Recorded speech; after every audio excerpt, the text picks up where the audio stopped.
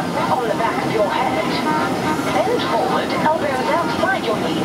Rest your head on the seat in front of you here. If you have a child on your lap, place one hand on your head, lean over your child and place one hand on their head.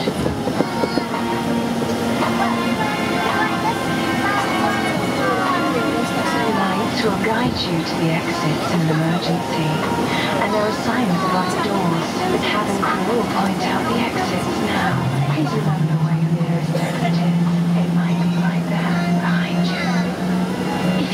you to open a door, move the big handle in the direction of the arrow. As the door opens, the light will inflate.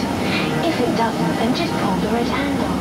Leave everything behind you and take off anything that could damage the slide.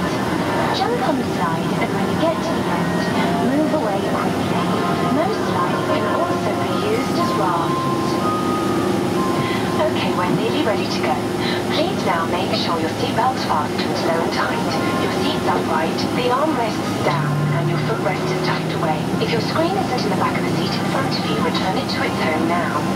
There's a safety card in your seat pocket. Have a good look through to remind you of what you've seen and for information about this particular aircraft. Always pay attention to the signs and the crew. They're there to keep you safe. So if you have any questions, just ask. Now sit back and enjoy your flight. And thanks for watching.